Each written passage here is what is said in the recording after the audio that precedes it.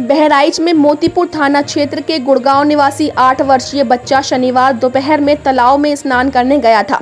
इस दौरान तालाब में मौजूद मगरमच्छ बच्चे को खींच कर ले गया। काफ़ी तलाश के बाद भी जब बच्चे का शव बरामद नहीं हुआ तो नाराज़ ग्रामीणों ने बरेली बस्ती मार्ग पर जाम लगा दिया, जिसकी सूचना पाकर एसडीएम सी और वन विभाग के अधिकारी पहुँच गए, लेकिन ग्रामीणों ने जाम हटाने से इनकार कर दिया, जिसके पाँच किलोमीटर तक वाहनों की लंबी कतारें लग गईं।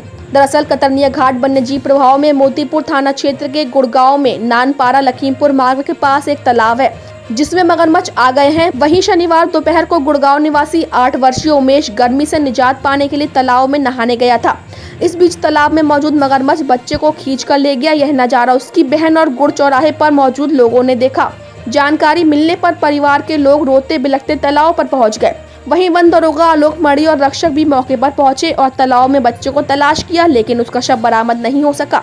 जिसके बाद नाराज़ ग्रामीणों ने दोपहर तीन बजे बरेली बस्ती मार्ग के गुड़ चौराहे पर जाम लगा दिया। इससे आवागमन बाधित हो गया और गुड़ चौराहे से दोनों तरफ़ पाँच किलोमीटर लंबी वाहनों की लाइन लग गई। सूचना पाकर एसडीएम ज्ञान प्रकाश त्रिपाठी, पुलिस क्षेत्राधिकारी जंग बहादुर यादव, वन क्षेत्राधिकारी राम कुमार, थानाध्यक्ष विरजानंद सिंह पुलिस बल के साथ पहुँच गए और सभी ने ग्रामीणों को समझाने का प्रयास किया, लेकिन ग्रामीणों ने जाम हटाने से इनकार कर दिया।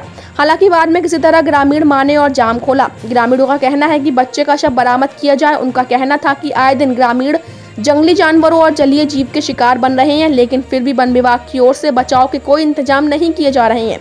वहीं डीएफओ आकाशदीप वधावन ने बताया कि जंगल से सटे तालाब में मगरमच्छ और घड़ियाल मौजूद हैं। ऐसे में ग्रामीणों को थोड़ा सजग रहना चाहिए। वन कर्मी उनकी सुरक्षा में मुस्तैद हैं। साथ ही मृत बच्चे के आश्रितों को मुआवजा दिया जाएगा।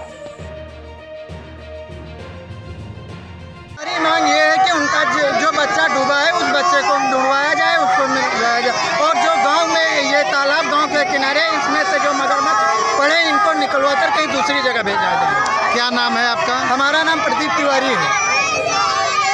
ये इसीलिए रोड जाम किए हैं। हाँ इसीलिए